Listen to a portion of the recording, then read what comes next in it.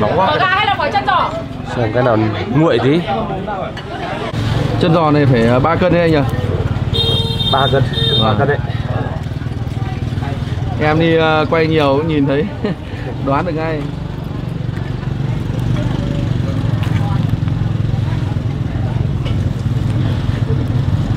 Mà cái món chân giò này nhiều nhiều người cũng rất là khoái ăn ăn không Vâng. chán đấy Nó nó có mỡ nhưng mà nó lại không ngấy, đặc biệt là thế.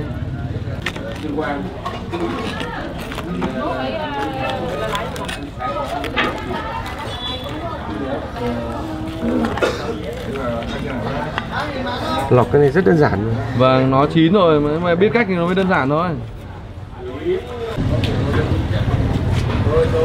anh biết cách lọc ấy nhìn nó đơn giản và nó dễ. Chứ bình thường em mới lọc ở nhà khó lắm.